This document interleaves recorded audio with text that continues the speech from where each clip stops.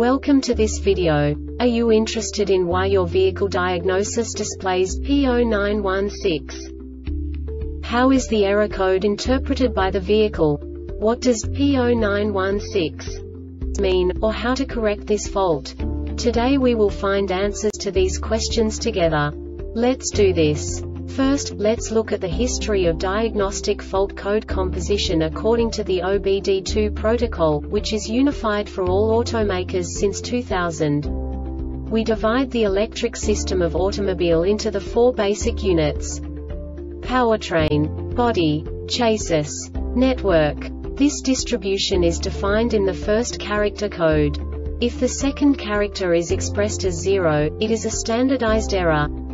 In the case of numbers 1, 2, 3 it is a more prestigious expression of the car-specific error. The third character specifies a subset of errors. The distribution shown is valid only for the standardized DTC code. Only the last two characters define the specific fault of the group.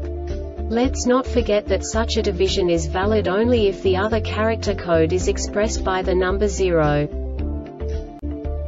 Our website airbagreset.sk produces useful videos for you.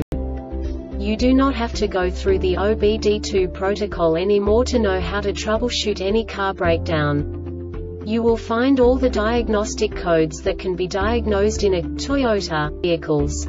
Also many other useful things. The following demonstration will help you look into the world of software for car control units. You unbelievably can move the video a bit further. The error code is split into two bytes consisting of 16 bits. One bit is the basic unit that each computer works with. The bit has two logical states.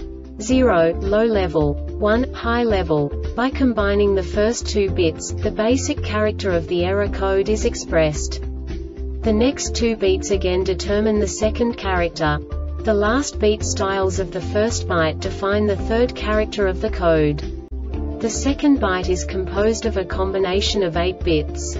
The first 4 bits determine the fourth character of the code. And the combination of the last 4 bits defines the fifth character. A single byte conceals 256 possible combinations. We now know in what way the diagnostic tool translates the received information into a more comprehensible format.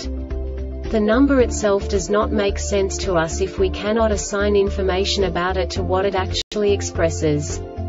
So, what does the diagnostic trouble code P0916 interpret specifically Toyota car manufacturers? The basic definition is Steering wheel switches incorrect keypad installed. And now this is a short description of this DTC code. The steering wheel module SWM continuously checks the system components if the steering wheel module SWM detects activation of a button that should not exist. The diagnostic trouble code is generated. The diagnostic trouble code DTC can be diagnosed when the ignition is switched on. This diagnostic error occurs most often in these cases.